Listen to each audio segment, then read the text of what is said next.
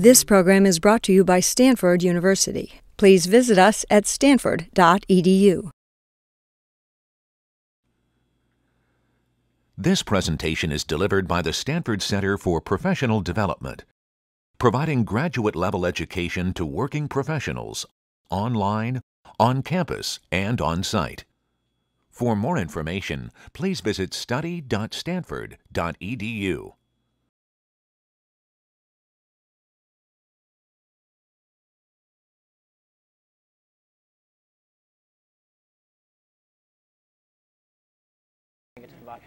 Um, so we're very lucky to have uh, Tessa Lau and Allen Cypher, both from IBM Almaden. Uh, Tessa got her PhD recently in 2001 from uh, UW, right, from University of Washington. Um, Allen got his PhD back in 1980 from Yale. Uh, Tessa's mostly focused on work in the productivity and creativity areas, trying to uh, improve, improve productivity and creativity with office workers, typically, right? And uh, Allen's done a lot of work on programming by demonstration, uh, which is uh, what their talk today is going to focus on. They're going to be talking about a system called Koala, uh, which is for enabling end-user programming on the web. And hopefully we'll be able to get the, uh, the internet sorted out here in just a second, and then we'll get to see that. It's not sorting.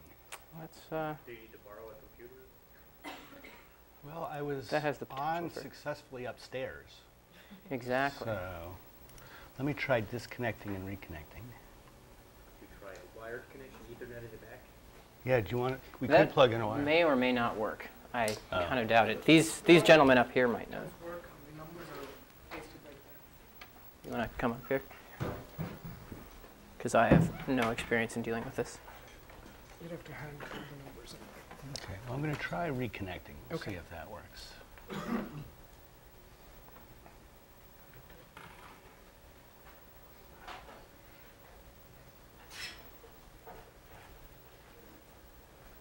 You didn't have any other administrative things to take care of. It. All right, then. Do you have any jokes? we could open the floor up. Yeah.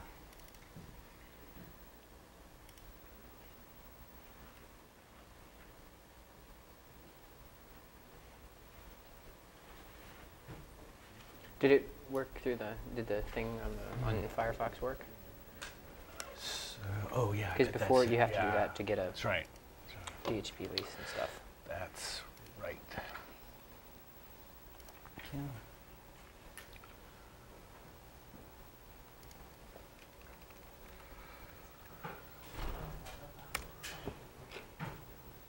Okay. I'm going to try ACypher. So the radio is definitely working. and what have you. and IBM Almaden, right? Yep, all lowercase and no punctuation or anything. Right. Yeah, it worked, this'll, uh, it worked before. So. Yeah, we're swell. And you definitely need uh, internet for the uh, presentation. Definitely. We need the VPN for the presentation. All right. Does yours work, Tessa? Uh, it's still invalid. Hmm. Do you want to put in your, do you- oh, I you don't have a guest one? No, I don't. Do you have Um, it? Hmm. I can create another one though if. Well, they need their laptop because they've got stuff on it. Can Well, you I'm going to to start talking guest? about other things for a little bit. Yeah. Why don't I try typing in my password, Yeah. seeing if it's like Um, user error? Oh, yeah. True. That's, that's a good idea. Yours worked fine on your computer, Yeah, Tessa? it just did. You do know how to spell, right? Yeah. So then I was thinking maybe that there was a key, you know, a numeric lock on or something. There's not. So it did work on yours. Uh, I just typed mine in, and I haven't seen if it fit. Oh, I see. yet. Yeah. Okay. Well, the first, I can give a bit of the talk without it. Okay, so. well, I'll try and get to the bottom of this. So yeah, if we get, maybe just get another fresh guest login, that might All help. right. I'll do that. Doesn't work for me either, by the way. Okay.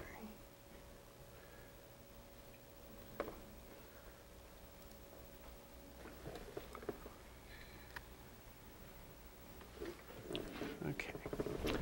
Let's get started. Sorry about the delay. So I'm Allen Cypher, and this is Tessa Lau. And we started this Koala project earlier this year. And also working with us is Greg Little, who is a grad student now at MIT, and he worked with us over the summer, and he's the one who actually got all the programming working. And he also came up with a lot of the important new ideas we have in the program. And then the other people on the list are all researchers at Almaden who have now joined the project with us. So in this talk, I'm going to cover these uh, five areas. I'm going to start off with an overview of end user programming. And then I'm going to give you the demo of Koala and show you what's different about it. And then I'm going to go into this area of social end user programming, which I think is really the most interesting thing about uh, using Koala. And then I'll talk a bit about programming by demonstration and finish with the topic of why does IBM care and sort of what are the things that you can do using Koala, what, we, what our hopes are for it.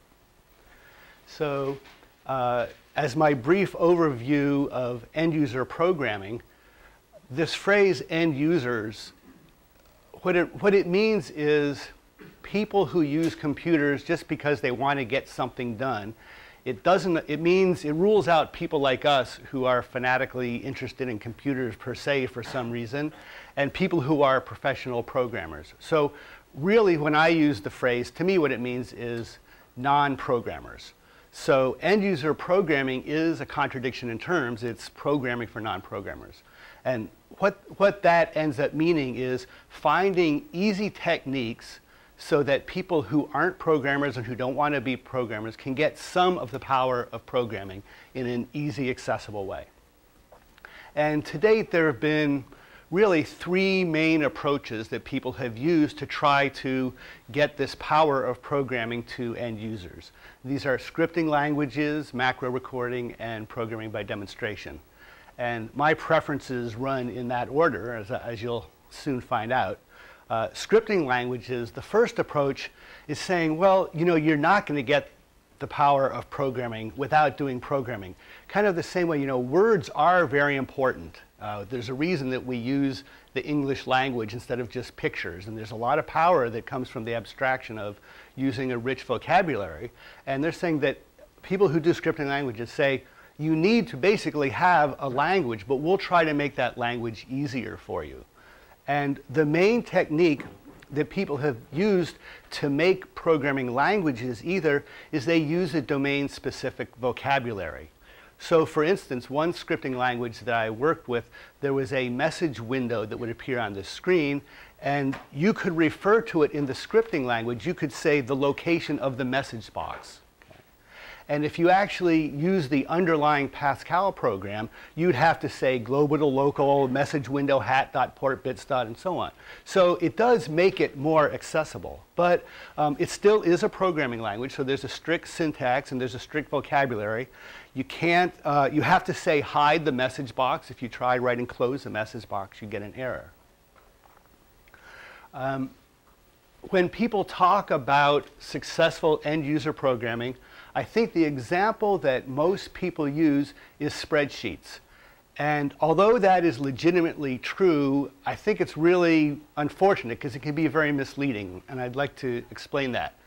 The, thing, the reason that spreadsheet programming works and that it's, it does count as an end user programming language is that all of the users of spreadsheets are nerds.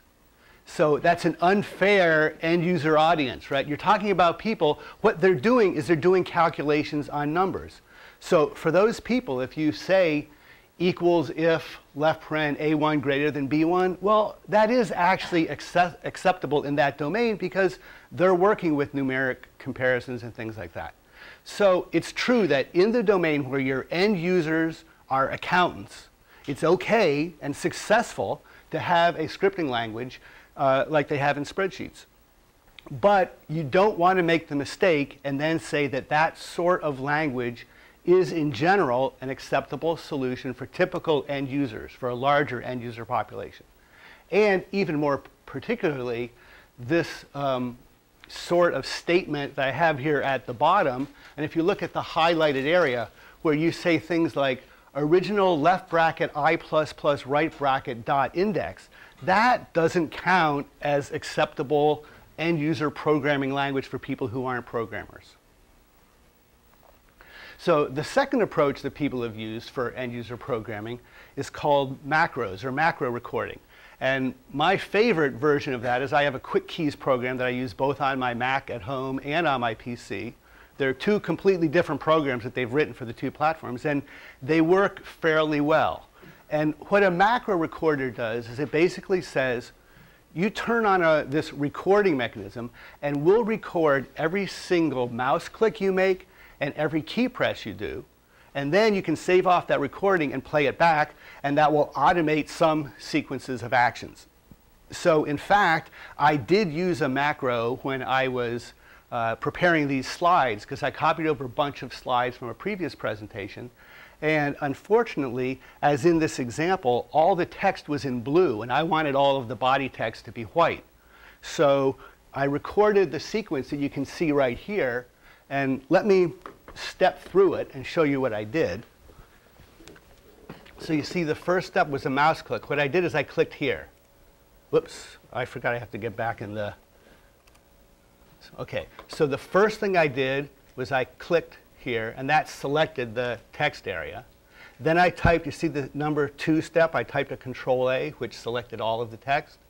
And then the third mouse click, I did a right click and then I wanted to pick the font menu, so I typed the key F. And then you see it waits for the window font to appear. And then I did a mouse click on the word regular because I wanted to make sure it was going to be regular. Then the next mouse click was over here on this drop arrow for the color. And then by doing a down keystroke, it selected the white color. And then I pressed the enter key to say OK to that, and then I pressed the enter key for OK. And then I clicked up here to get rid of the selection and see all the text had turned to white. Okay? So let me just undo that. But that was the sequence that I recorded. Okay? And then I assigned it to a hotkey. So I used control slash. So now as you watch, I'm going to press the control slash key.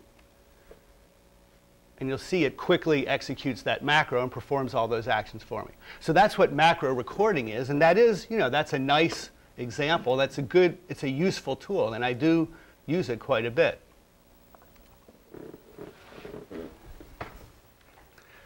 So now we get to the version of end user programming that I favor, and this is programming by demonstration. And the idea behind programming by demonstration is it's really smart macros. The trouble with macros is every single keystroke, every single click has to be the same. And so often the sequence of things you want to do is a bit more general or abstract than that. You can't get away with just the very laborious exact uh, recordings. And the idea behind programming by demonstration is this belief that if you know how to perform an activity yourself, if you can sit there and do it on the computer yourself, that should be pretty close to being a program. And why should you have to know how to convert that into this very abstruse vocabulary of a programming language? So the idea is that you give a few examples of what you want to do, just performing the activity, and let the system figure out and infer the abstractions and write the program for you. And to give you an, an idea of this, on the left here, you'll see a scripting language version of a train set, where there's got a train that runs around on pieces of track. And you see that doesn't look at all like, you can't really tell that anything is going on about trains and pieces of track there. And in contrast, uh, we made a PBD, programming by demonstration system, where the way you created the rules is you demonstrated what you wanted to do. So to teach a train how to move forward on track, you would, you would make a rule where you had the train sitting on a piece of straight track, and there was a piece of straight track to the right of it, and you recorded grabbing the train and moving it from the one square to the other square. And that made a rule that says if, if I'm facing right and I'm on straight track and there's straight track in front of me, move on to it. And so by making oh, 16 rules like that, I think you get a train that would run all the way around the track. And maybe you'd like it to have it before rules or so, but whatever, to my mind, making rules like that is a much better way for an end user to create a program than to write all of that text. So as I've said, it's a smart macro recording. And the difficult thing, which we'll get to a little bit more later, is that when a user performs an action, you have to figure out what it meant. Because in fact, you know, as people, we're pretty smart when we watch a demonstration. We kind of know because we know a lot about the context and, you know, common sense knowledge about what people do, we can make the right inferences. And for computers, it's harder, but the basic idea is to make those inferences and um, keep the user from having to do all that writing themselves. And the way that programming by demonstration really works and the reason it can be successful is you give it several examples to work from and it has some domain knowledge. And there's this other problem that comes up in programming by demonstration, which is presenting the programming to the user. Um, I won't go into that too much now. Okay, so that's the overview of end user programming. Now I'd like to talk about how it's been applied to date for programming on the web. And there's two uh, interesting scripting languages I want to talk about, uh, Greasemonkey and Chickenfoot. And then there's a macro recorder system called Platypus. And then finally, I'm going to talk about how Koala extends those systems by using programming by demonstration. So to start with Greasemonkey, Greasemonkey is a really interesting language that opened up uh, scripting and programming in a web browser. And what they did is to use the JavaScript language and let you use write JavaScript so you can modify the web page that's in your browser. So you get a regular web page that comes down from the web, and then you get to write JavaScript to mess with it and customize it and, and make it do what you want it to do. And one of the neatest examples of that is a program called BookBurro. And what it does is anytime you go to a web page that's, sell, that's selling a book, it pops up, you can see there in the corner, it pops up a list of other books, book sites that sell that book and it gives you the, the price that they sell it at. So you can do instant comparison shopping on any site. Now, a small amount of the JavaScript code to make that work is over here on the right. And again, it's clear you're not going to call this an end user programming language. Because if you look at that um, highlighted region, region there, any language where you write left paren ampersand vertical bar backslash question mark, that actually doesn't count as legitimate end user programming. So the language is JavaScript, and that's quite a misnomer. It has nothing to do with Java, and it's not at all a scripting language. It's a full featured programming language. Uh, but nonetheless, you know, it's been very effective in this. It's just it's not end user programming, but it, this really is a wonderful tool for programmers to modify uh, web pages on their own machine. So the next step from this was a program called Chickenfoot, which really is, this is a really good example of a scripting language, and it meets all those qualifications of what you try to do when you make a simplified language that has a specialized vocabulary for the domain you're in. So if you look on the left here for Google search, this is a script in Chickenfoot. You can say go google.com, enter WIS 2005, click Google search. And what's particularly interesting about it and what is the real innovation is for that command click Google search. Now Google search, those are words that appear graphically on the page that the end user can see. If you look at the HTML code for that button, the name of that button is actually BTNG. Okay? But you as an end user don't see that and you don't have to know it. You get to use the words on the screen. And they'll even do things like if, if there's a label that's next to, adjacent to a box or something, they'll guess that the user is going to use that label to refer to the box. So it really is an innovative system and it, to me, to my mind, these are wonderful things about making advances so that end users who are non-programmers can start to do some sort of programming without having to learn a real programming language. Now, it is actually you know, a fairly complicated language. If you look at this example script on the right for finding a book, again, here part of it is there's an expression where you put left paren backslash d plus right paren. You know, so it's, it does have some of that in there, but still, the fact that it has these words pick, enter, click, and so on, it really is a big improvement over pure JavaScript. But another, the next sort of leap forward in end user programming is this program called Platypus. Now, Platypus is interesting because it's an extension written to the Greasemonkey extension to Firefox. So somebody may want to write extensions to Platypus next, I don't know. But the idea here was this really is, to my mind, the first system that I would say is legitimately an end user system.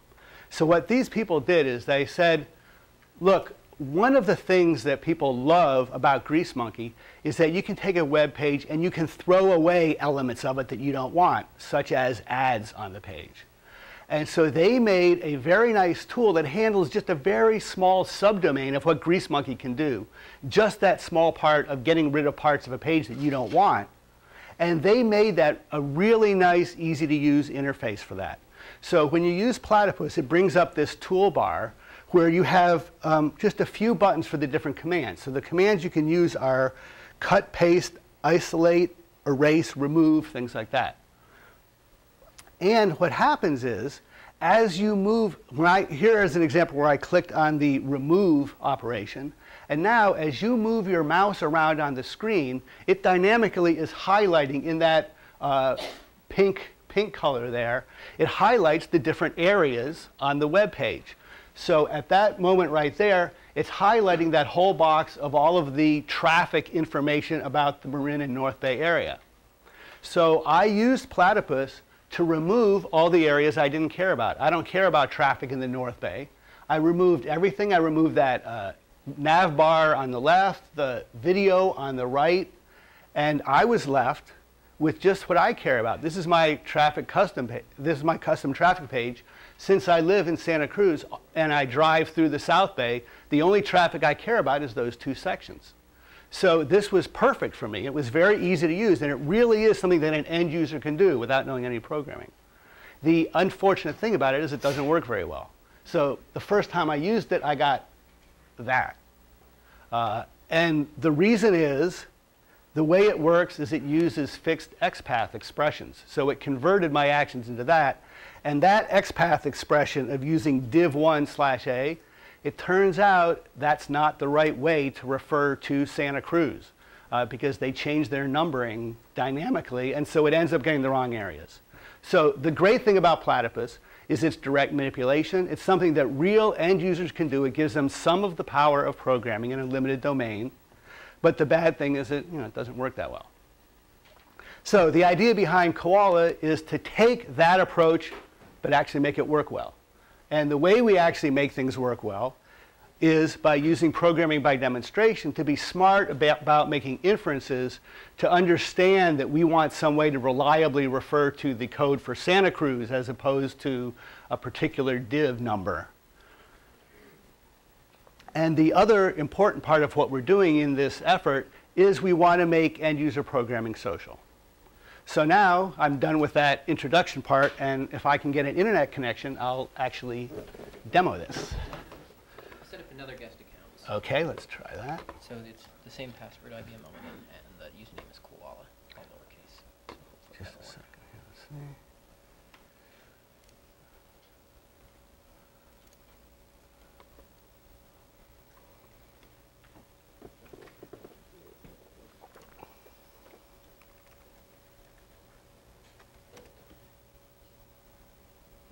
So the username is Koala, all lowercase. Yep, and then the password's the same thing. IBM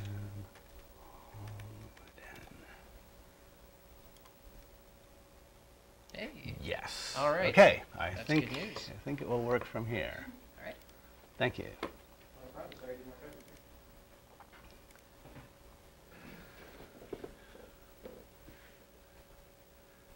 So I have to get on our VPN at IBM to use this, and it worked. Okay.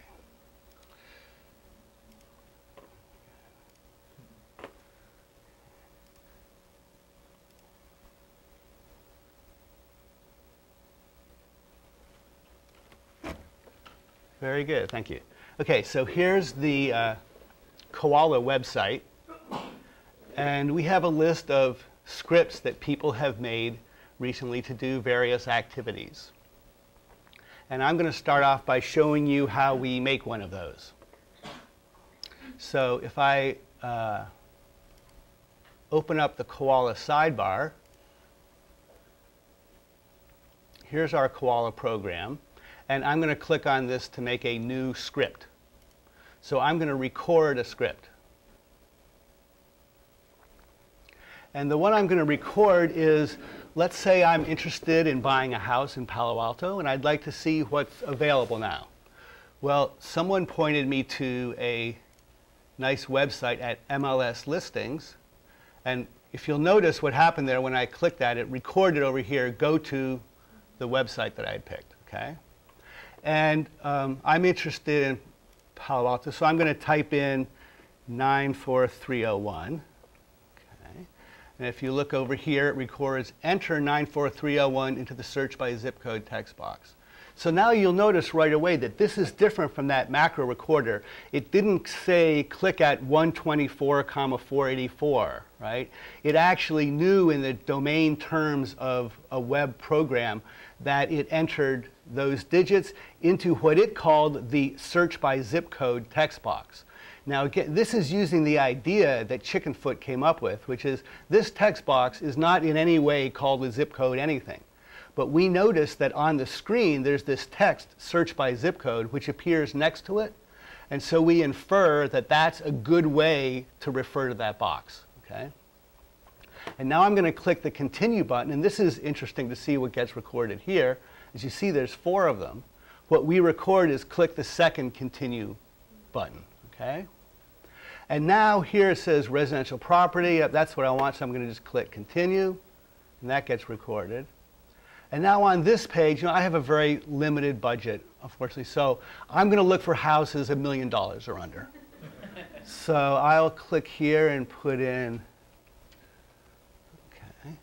So now it's recorded put 1,000. You see, it calls it the to text box. Here it says from any to this. So we get, you know, that's its best guess at what to call this box.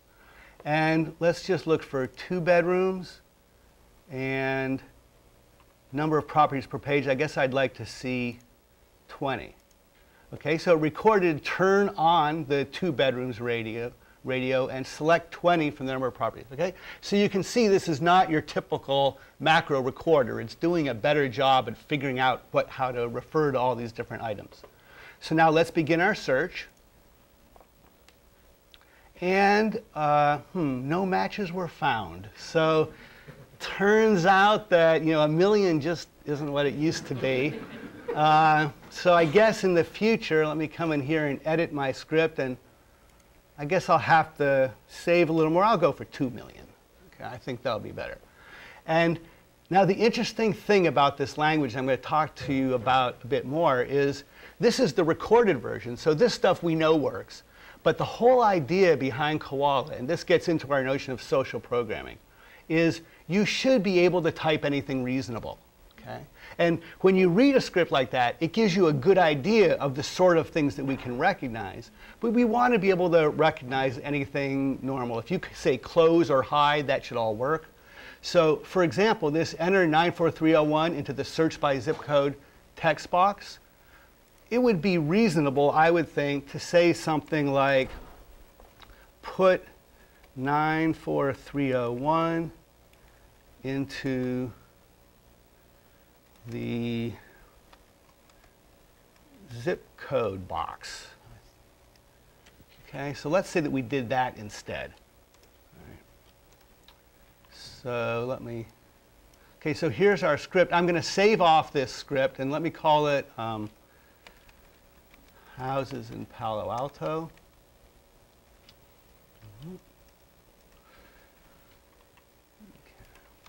And now I'm going to save, save off this script. Now, an interesting thing we did, and it's still too early to tell, but when you save a script, your script is immediately saved on our Koala wiki site for everyone to see and use. And it's a wiki, so anyone can see it and change it. Now, it's an interesting social experiment because some people, you know, might not want others to see theirs, but we're trying to get into the idea of using of what wikis are meant to be. And, you know, whatever you do, you're sharing it right away. And we're going to have different reputation systems and stuff so that people can rate it and say whether they like it or hate it. Anybody can change it if they want to. And we're going we just want to see what happens with that. But now that we've recorded a script, let's use the play button because now I want to check on, first of all, I've made the change to 2 million. And isn't it nice that I don't have to redo every step just to change it to 2 million? So let's run that. I'm just going to run it and see what happens.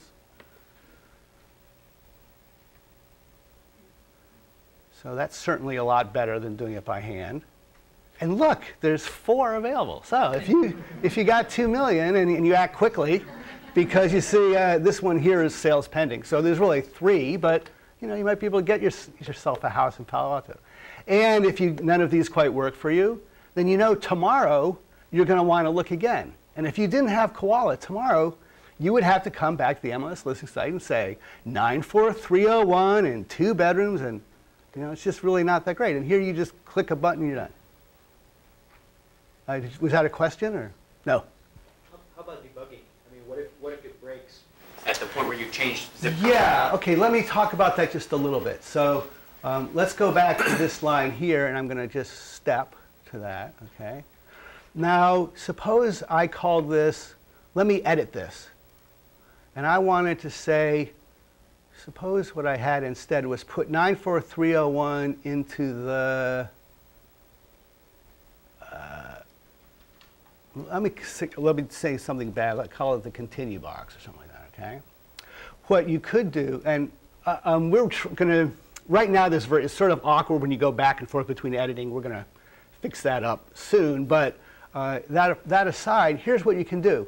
You can click on any instruction. Look, it got it anyway. Um, you can, oh no, it did, it put in the wrong one, right. So um, you can click on any line and see how it gets interpreted, right? And then if you don't like the way it gets interpreted, then you can try to fix it up. Or if it doesn't work, what I would always recommend is just go into record mode and have it recorded, because it always records something that does. But that, that's the basic idea. You get to fool around with it and see what it'll do. And also, it's turned out that I've used it very often when I'm running somebody else's script. Every so often, there will come to a statement that I don't want it to do. And you can just skip over it by clicking there and have it, and then you do the thing you want yourself and then. And then also, when you're recording, you can turn the record button on and off so you can pick what you want to record. Yeah. Excuse me, you said that anybody can go code. Can you go back to your original code? Does it say uh, yeah. code? So all of those issues we handle by using the wiki paradigm, which is in a wiki, whenever a change is made, the old version is saved. Okay, so you never really lose anything. And I believe we are going to add a version so that you can save some scripts locally. Um, but we, are trying to push as much as we can the social idea. One reason I want to save them locally is I was uh, recently on a trip and I was in the airport and I wanted to connect to the local, uh, local uh, wireless network. And I couldn't because you have to be connected to get the scripts from Koala. And I wanted to run this script to get connected. So uh, there are reasons to keep your scripts local. Uh, but I think we will do that a bit. But it really is the social issue. Yeah. Instead of typing the zip code in the zip box, if I type Palo Alto, it will execute a query of what Palo Alto means zip codes and pull up all the zip codes for Palo Alto. Very nice. Let me show you something similar to that that we are doing. But that's, that's a good idea. We aren't doing exactly that, but that does bring up a neat, a neat point. Uh, in the back? So in your example, you went to a page and there were four items. So part one of my question is, can you actually pull content out of the page for instance, the address or the price. Um, and then the second question, so kind of returning a function of values. And the second is, could you then compose uh, other scripts that you've previously cast so that way the values from the addresses from this script could feed into a map or something? Cool. Like so, so we do mashups and things like that. Um, the best answer to that is there's a program out there called Clip Connect Clone, and I have a reference to it at the end that I'll show you that does exactly that. And I think they do a pretty nice job of that. Um, and another answer is the way we do things is yes, we could, because what we are going to do to get our programming by demonstration system to work is we record the entire DOM of each page as we record the action. So all that information is available, and it's up to you to write the intelligent inference system to make use of the data that's there. Yeah. Yes?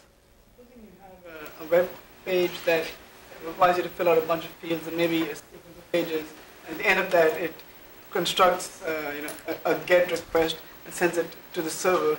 But that GET request includes all the values that you've been filling out here. Right. And it would be nice if, if Koala could realize that, oh, this thing has produced a GET request with my values in it, instead of having to go through each of these pages the next time they run this program? Can I just take the values and uh, yeah. turn it into a GET request?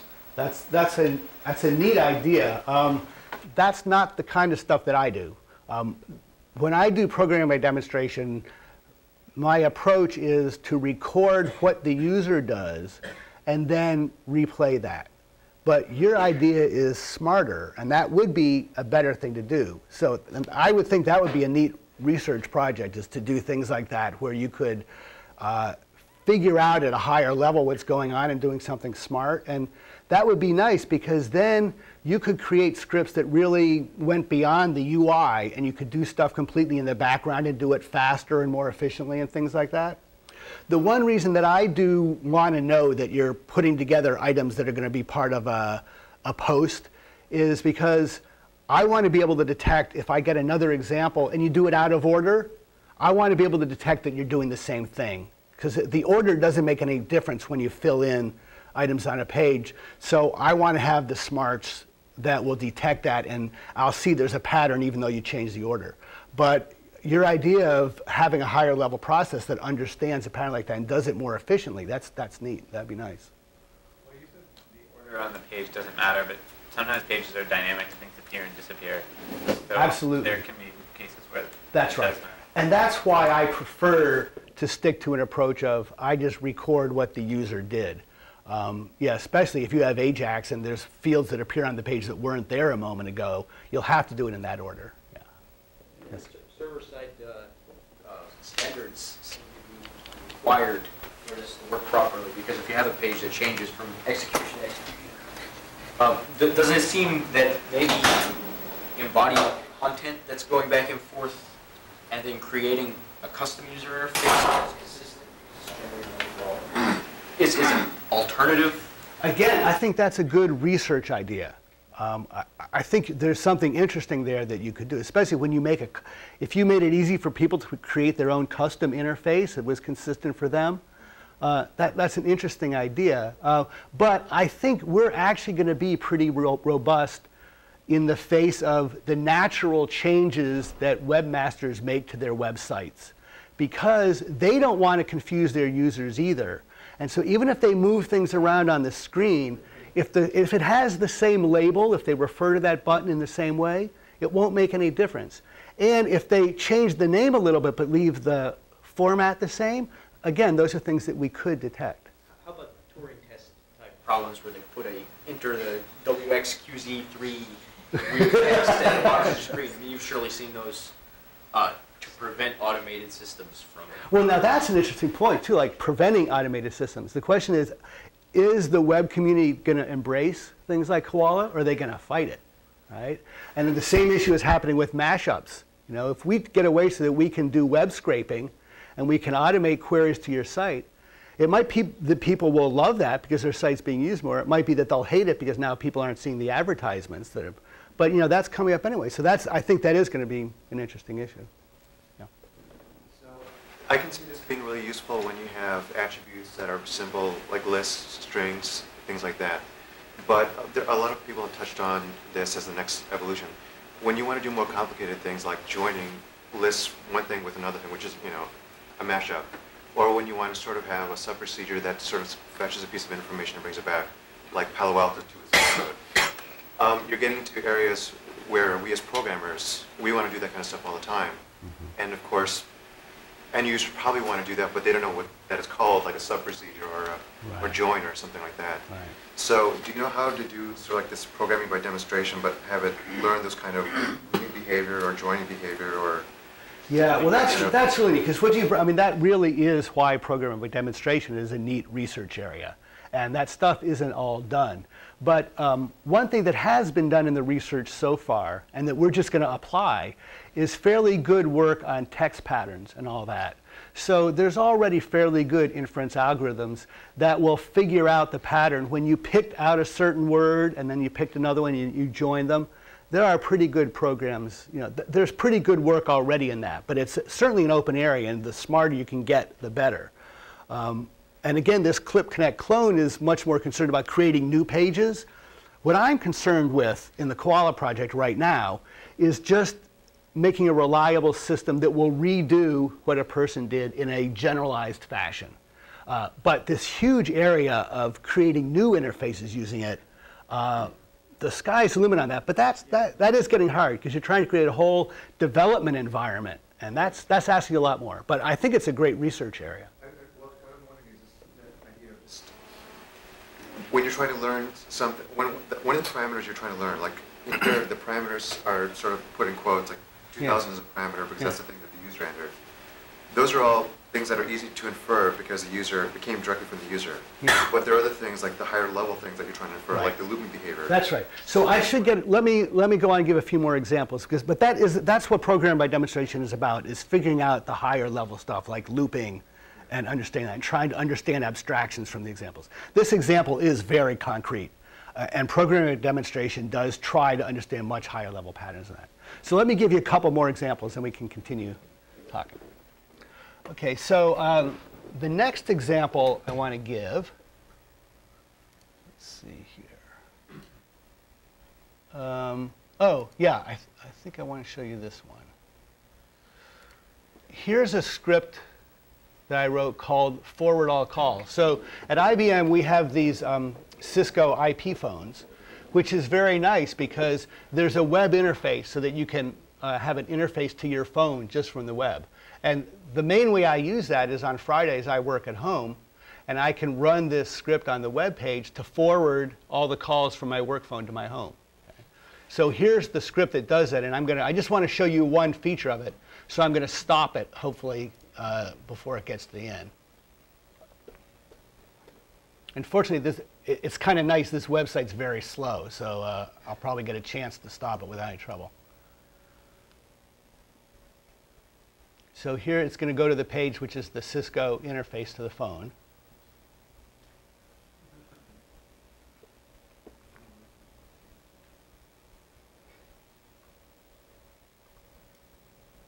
Oh, um, my fault. I've actually, I'm now running this program in demo mode and I've never entered it from here. So hopefully I'll remember what my password is. Huh. Um,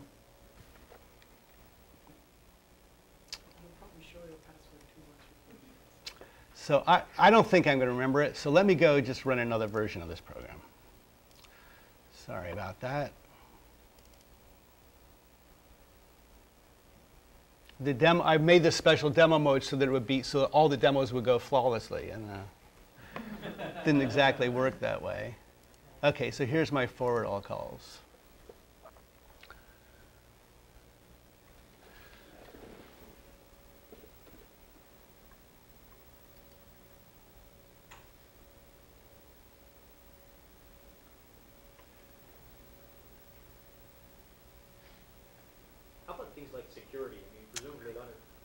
Times you're going to uh, That's a very, it's a very big issue. So, for example, when, when these security dialogues come up, I'm still debating over whether I should override them and let you, and record clicking OK, right?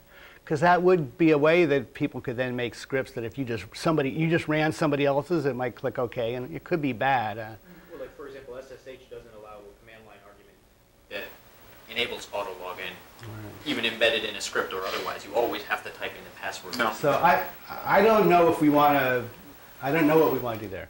Okay, so now this is going through the functions on the site to forward calls to another number. And, okay, let me step through that. Because here's the part that I want to show you in three more lines. And yeah, see this website. So this is, I'm so happy that I automated this because I used to sit there waiting for this web page to come back. And now I just click, okay, do it, and then I'm done. Okay, so now it's going to forward all calls, but um, to this number.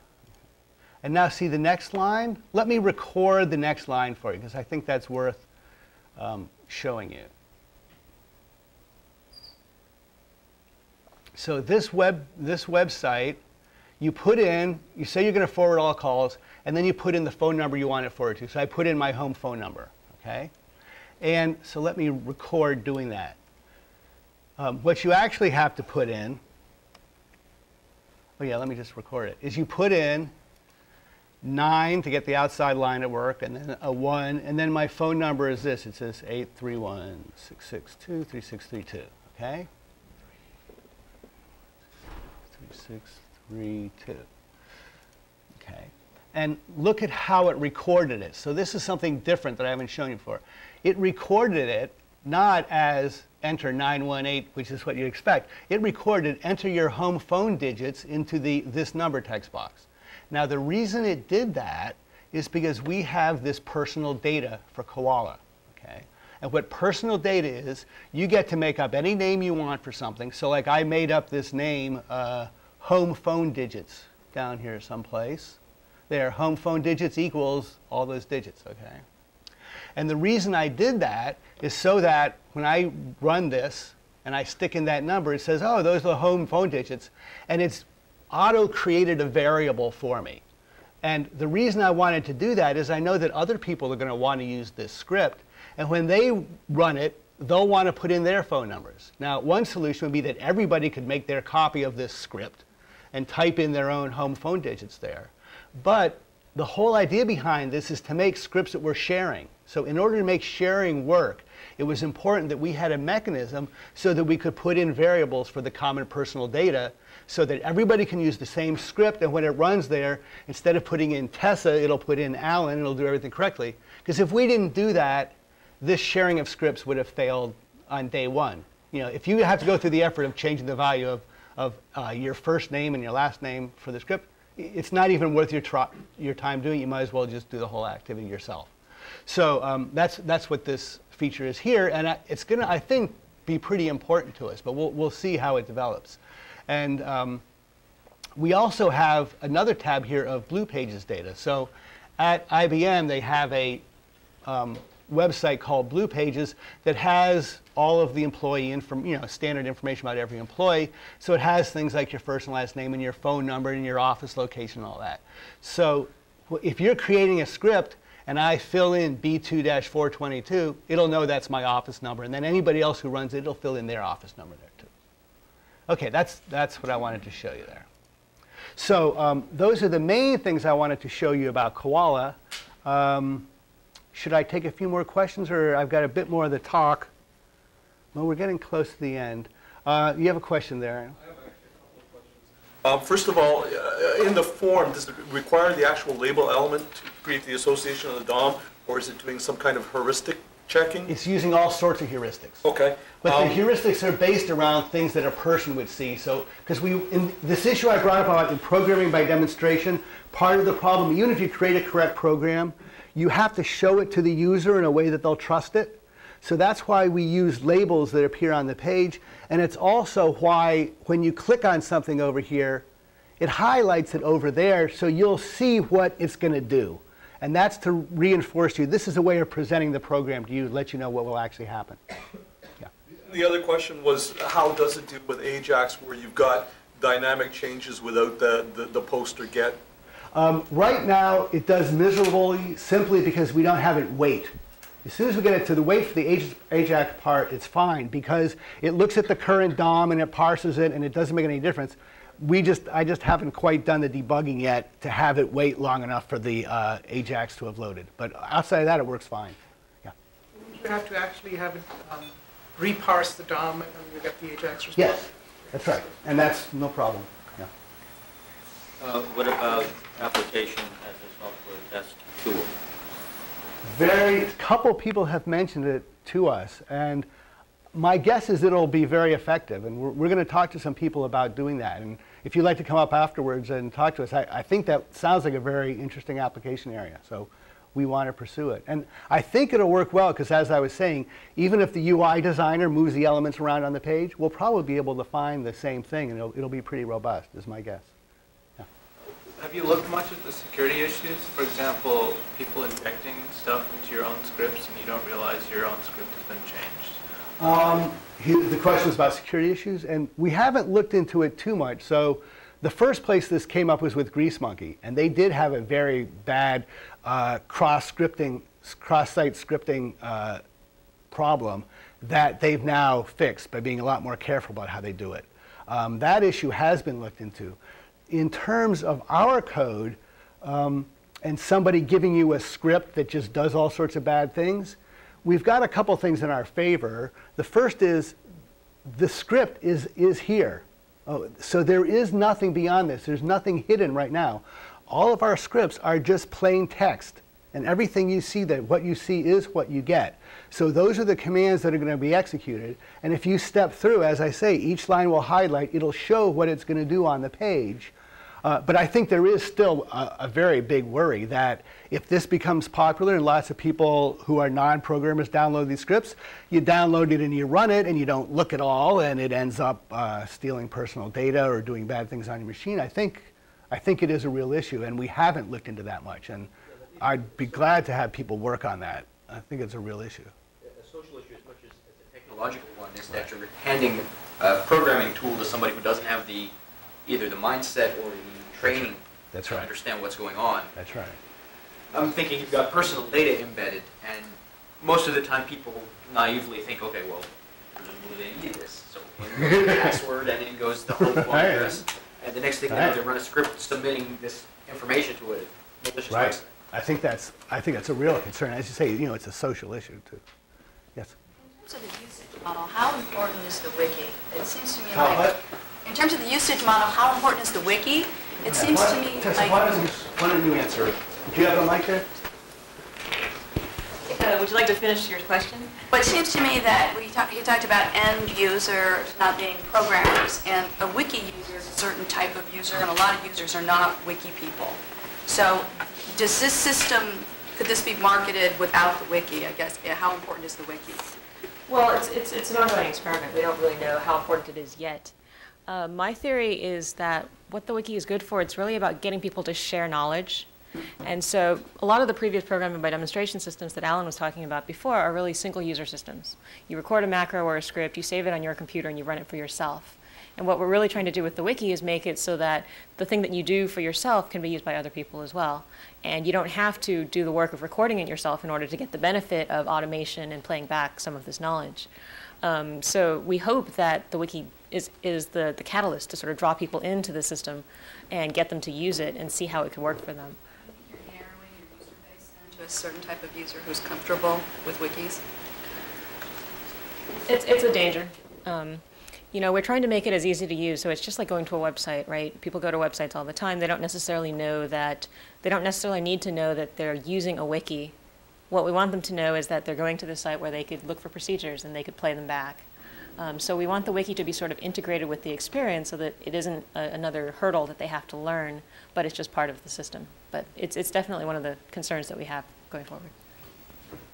Uh, Can you turn the koala on itself in the sense that, for example, in the wiki, since only the latest version is visible right away, and to get, and if, if I want to use an historical version from two weeks ago, I want to record that I actually go to the history page, I pick up a certain older version, and then I'm I'm always playing an older version of the script. Now you may want another version, so we're actually using Koala to find out the right version of itself to actually use it.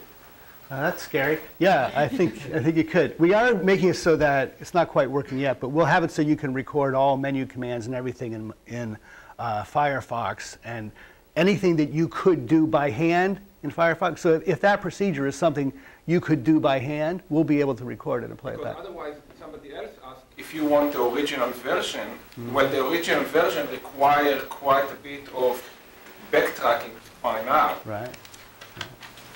Yeah, so if you went to the wiki and you hit the button to get the history page out of the wiki, and then you went and you picked the first one and all that, that should be recordable and doable. Like the obvious solution is to have a publish option for the social networking aspect. You know, you come up with a script, you save it locally, it's secure, you've constructed it, and then when you're happy, you say publish. Now on the web, other people can use it. I, I, I like this radical idea of having everything be public, and if you do something special, it gets recorded on your local machine. We'll, we'll see how it plays out. Any, yeah.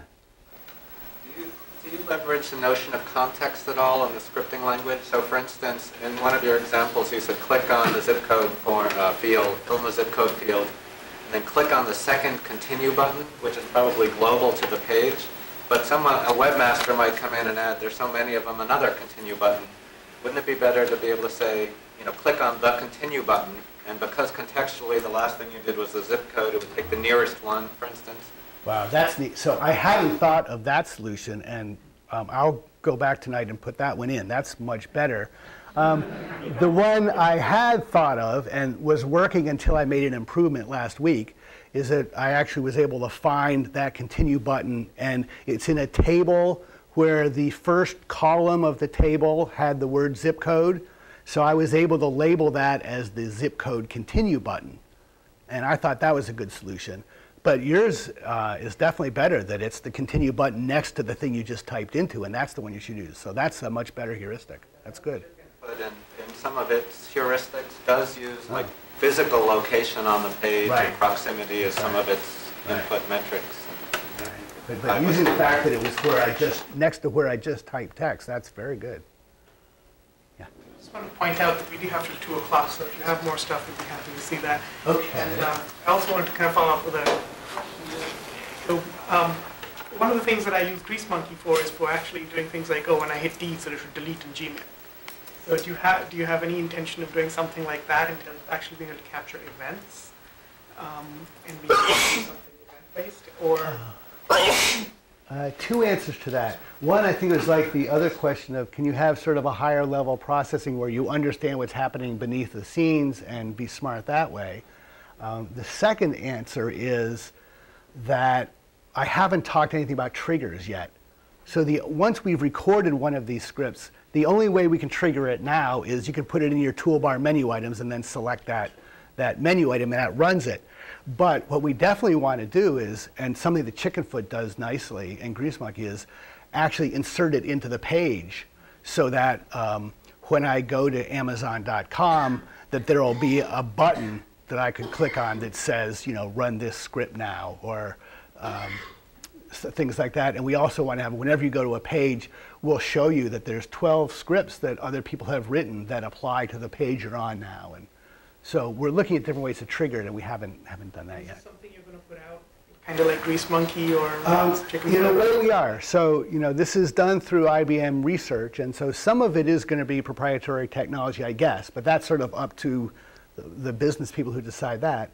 But we already do have permission that at least the macro recording part of this, uh, we're going to release as open source free open source code as an extension so that at least anybody who wants to do research in, in programming by demonstration, they won't have to go through their tr- the trouble of duplicating all this, getting it to record well. So at least that the, the recording part of it, if we come up with some really clever AI algorithms for and heuristics for interpreting it, um, who knows what IBM will do with those. But at least, yeah, at least the basic core of it, we want to get out there so that people can use it. Has this been an Extreme Blue project, or will it be? Uh, Uh, It hasn't been, I mean, all of the stuff that you've seen here was developed by mostly me and Alan and our summer student Greg Little. Uh, We're going to try to get an Extreme Blue project around this next summer, or this summer, I guess. Is there, or are there any plans for conditional branching in scripts? Because if, if there's no new mail, then you wouldn't want to delete mail, and I'm, you know, you should say, I'm glad you, I'm sorry you asked that question. That's, that's certainly one of the big issues, right? The conditionals and iteration, they're so essential to making any programming system that really works, right? So I've always tried up to this point to find some nice, elegant way to let people not worry about it. And I think now I'm finally tired enough that I think I have to admit we need to add some kind of explicit conditional structure to the program and hopefully do it in at least a way that'll make it easier for people to use. But absolutely, conditionals and iteration, all those standard things, there's, there's a real need, and you won't be able to make the interesting programs that you want without having that. But it's, it still is a research area. There's no really great solution to that yet. It seems like some of the technologies you're showing, like the, the scripting within the browser and the sharing, are generic software benefits that are applied to end-user programming, but also possibly that programmers would be wondering if you have any thoughts about how to combine Hmm. end-user programming and programmer programming, and how those might interplay. Do you want to about that? That's, that's, that's really neat. I, I haven't thought about that. Um, Greg Little, who worked with us, that actually his main interest, and I think probably what his thesis will be on, is making tools for, for real programmers. Um, so he would certainly, I can at least give you his contact information because I, I know he'd like to talk about that topic. That's, that's really neat.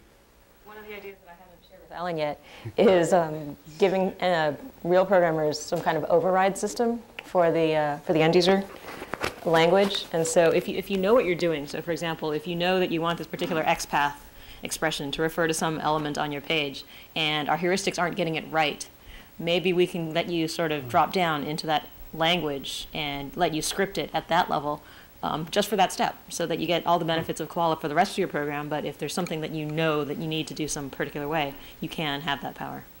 Oh, that's very neat. Does that open up the whole security can of worms once again though allowing lower level access to a script that appears to be right. Yeah i think that i think security is going to be a, a big deal but I don't think we'll use a Microsoft solution of just saying, oh, when you send your email, it's, there might be scripts, it's probably okay. Yeah, we, I think we have to be very explicit and careful about that. Any other questions? Well, I do have more slide stuff that I was, um, we sort of switched things around. We did all the questions during the talk part. Do you, I, I could briefly go over some more stuff. Would you like me to do that? or? Okay, feel free to, uh, to leave as, as you wish. But uh, first of all, thank you. This is always such a great audience. I really appreciate coming here and getting good questions from you. It's neat to get these questions we've never heard before. That's, that's wonderful. Okay, let me give you a few more topics then. Oh yeah, let me show you the video. Okay, I mean this is this is the most important thing. All right. So the reason this came up is um, one of the big topics, the reason IBM cares about this is lots of big corporations are doing this thing. Well, in fact, the whole world is doing this thing that they love to, to fire all the people who used to be experts in doing some given area and forcing end users to do it now. So when you go to make your travel reservations, you don't go to a travel expert anymore. You go to the website and do it yourself. And a lot of stuff comes up that you really, you're not an expert. You don't know about it, and it makes it really hard to do. And inside IBM, it's just miserable that if you try to order a product, you have to know all this information the purchasing agents knew, and they've all been fired, and you have to figure it out yourself. And it's just awful. So I was using one of those sites, and I, had, I just started laughing because I had this insight that I had seen this before. And this is part you can't show um, over the, uh, in the recording, but locally I want you to see this, and then you'll know what I'm talking about. How come that didn't work?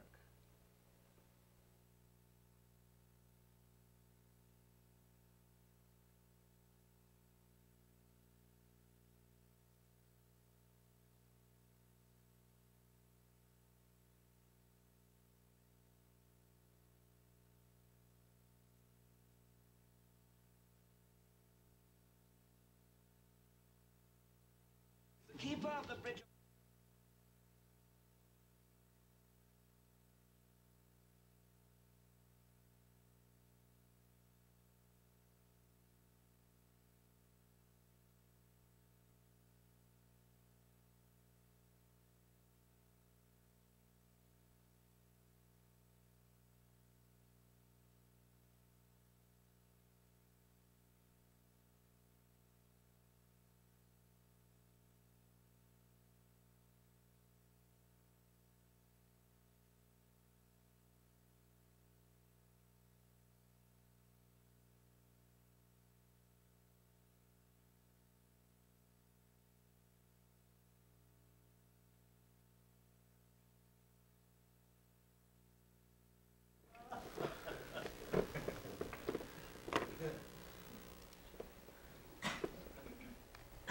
Okay, so the reason I thought about that is I was filling out this form to, to buy a product, right? And they asked me, what is your name? And you know, how many times have you put your name into the computer? And I had to put in my name. So wouldn't it be a lot better if the computer did the what is your name part, right? And it didn't actually ask me what is my quest, but it asks, you know, a comparable thing. He says, what do you want to buy? And it's just the example of a question that that's the appropriate thing to ask a person. right? When I go there, you, you're not going to have to ask me and get a human to tell you what you're going to buy. Or, you know, another example is if you're doing a flight, do you want to go on a flight that leaves at some ridiculously early hour in the morning? Or would you prefer one that leaves at a nice time, but it has a three hour layover in Chicago, right? Well, you just have to ask a person to answer that. You're not going to write a program for that.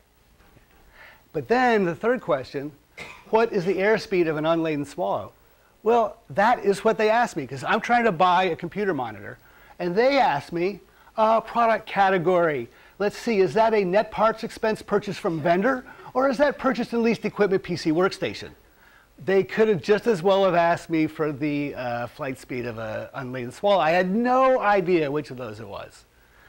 And this is an example where you need an expert, and no matter what we do, I don't think we're going to solve this. So inside a corporate setting where you're trying to make things easier, we can give you a system that handles the first two questions, but the third, you really need to have some way to get people to the expert that can answer them. So uh, in terms of the, I, I wanted to bring up this notion of mixed initiative systems, which is really important in end user programming. And really, the whole reason that end user programming works is if you get a system that has this nice mix between initiatives, the initiatives are the person taking the initiative or the computer taking the initiative. So you want to be able to go back, for, back and forth in a nice fluid way. So the, the computer handles the things that it can handle well, the person handles the things that they can handle well. And uh, by doing that, you can make this imperfect programming where I do a recording, but you know, I can't get all the steps to work right. Instead of spending an hour and trying to figure out how to program that part, you can just leave it for later and say, well, well, I'll do that part myself, but let the computer do all the other steps for me. So it really makes practical this idea of doing an imperfect job of writing a program. And Alan Kay had this statement he says, when a human is using a computer, there's one intelligence there, so you ought to take advantage of it. And that is the idea here. You know, you've got a person there, so use that intelligence to make this process work well. And Richard Potter came up with this very nice concept for end user programming, which he called just in time programming.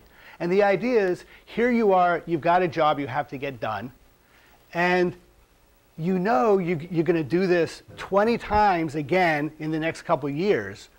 Do you stop now and write the program, or do you like do the annoying stuff because you, will you'll get it done in the next two and a half minutes and that's better. So the idea is to have a system where, well, if you just record it, you'll get most of the way there with almost no extra investment in time.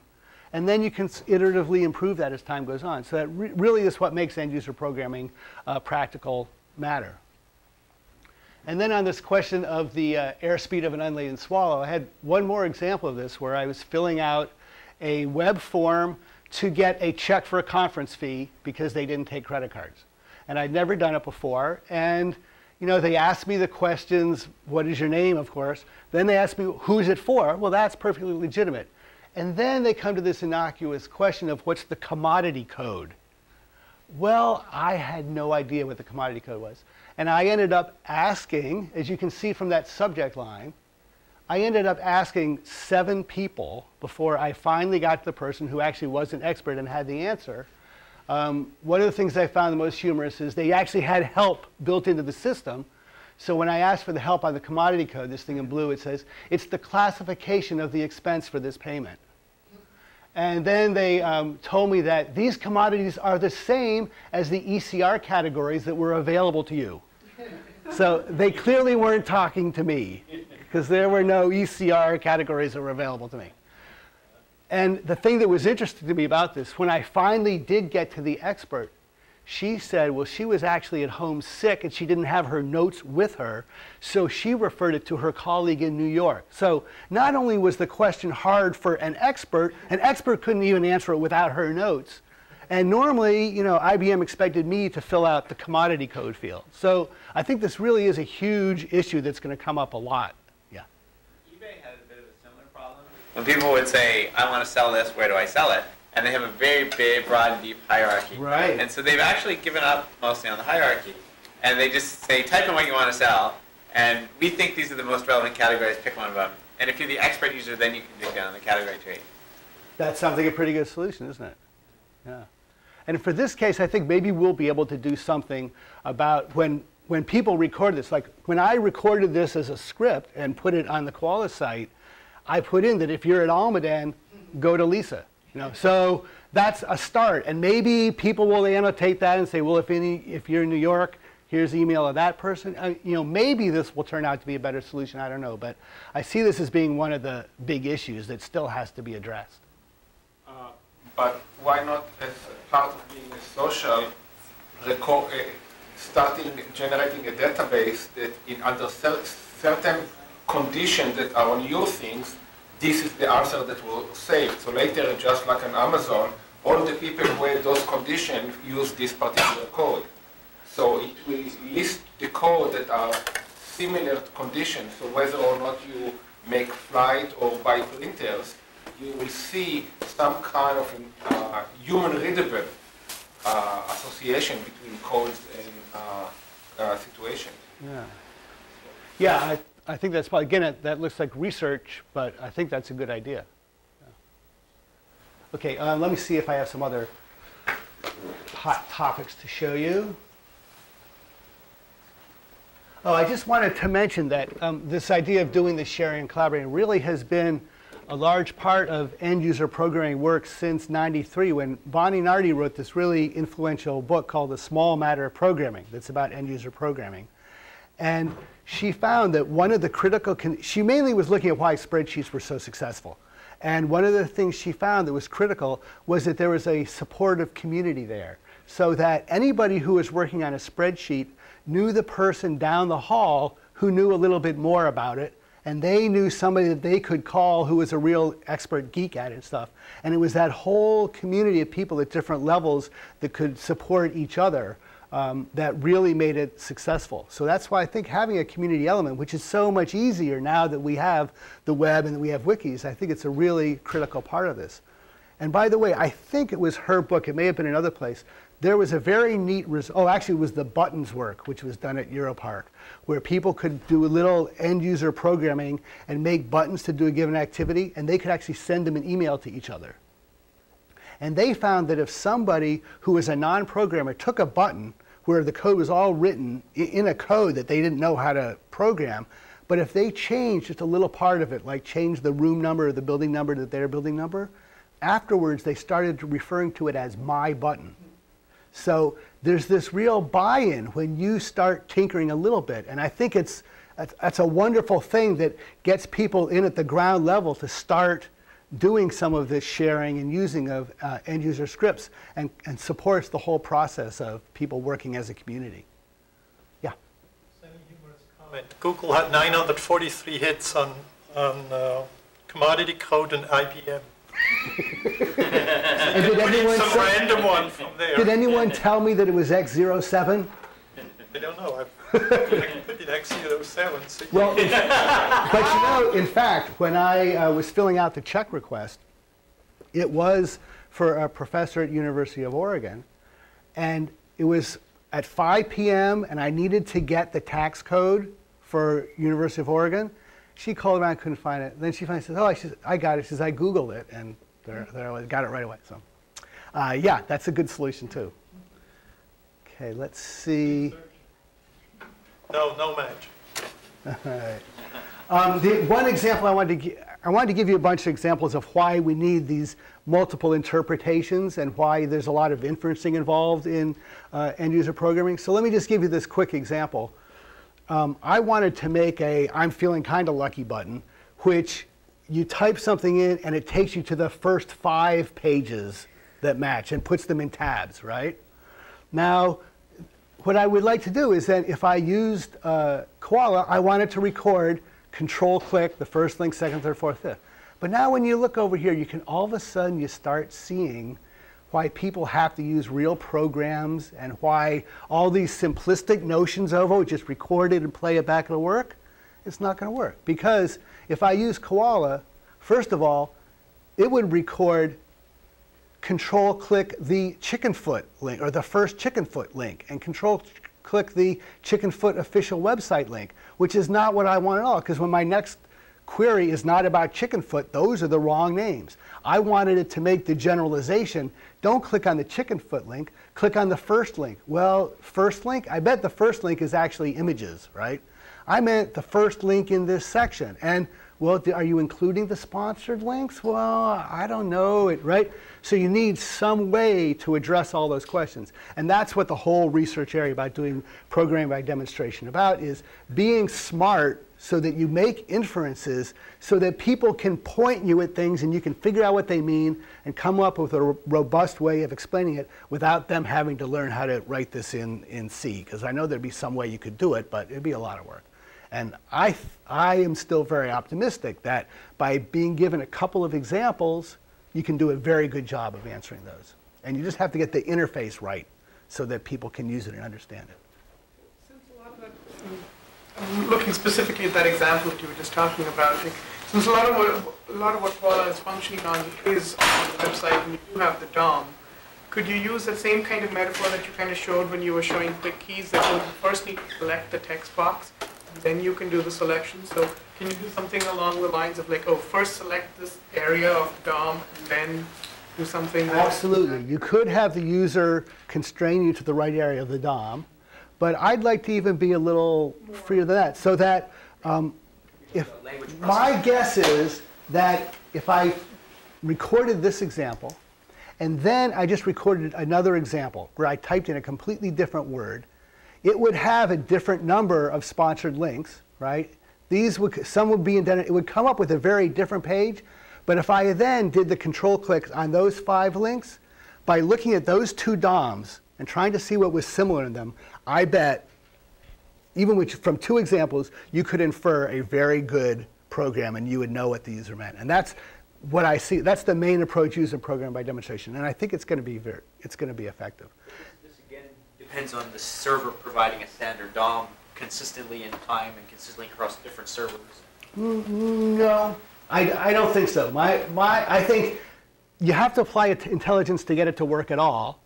And there will have to be some intelligence built in so that when you look at the new DOM, and it's a little bit different from the ones you've seen before, that you'll, you know you'll have to do a little thinking, but that you can write an AI program that'll be, you know, do roughly do the obvious things that a person would do when it had changed and try to figure out which parts really matched. And I think you can be pretty smart at it. So I, again, I'm, you know, like foolishly optimistic about a lot of these things. Okay. Anything else? I think that's, that's it then. Thank you.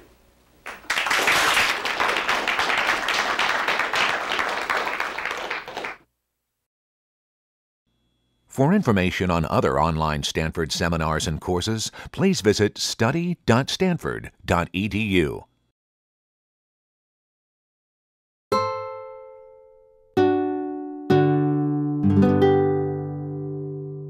The preceding program is copyrighted by Stanford University. Please visit us at stanford.edu.